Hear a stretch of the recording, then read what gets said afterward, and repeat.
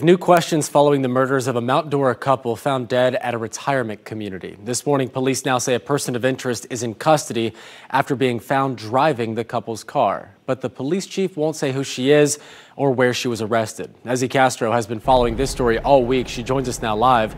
And Ezzy, we're also learning new details about the couple who died.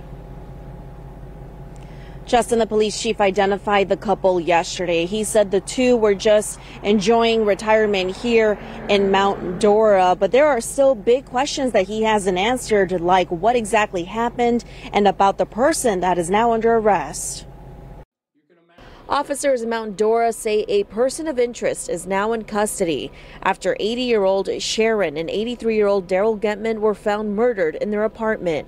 Police Chief Mike Gibson won't release the person's name, only that she was found driving the couple's car in another state. My number one goal is certainly to, to solve the crime, investigate the case. Gibson says the woman was seen at the Waterman Village Senior Complex several times the day before New Year's Eve. She even knocked on another resident's door asking to take a shower. Security cameras then caught the woman driving the Getman's green car out of the complex. This is an isolated event. I know it's, it's really hard for that to sink into people, but this is an isolated uh, event. It was a random event.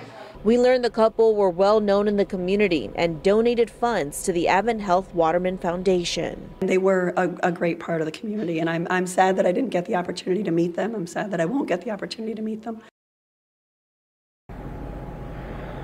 As for the person of interest, she remains in custody, custody and is facing a car theft charge. But as of right now, she hasn't been charged with the couple's murder.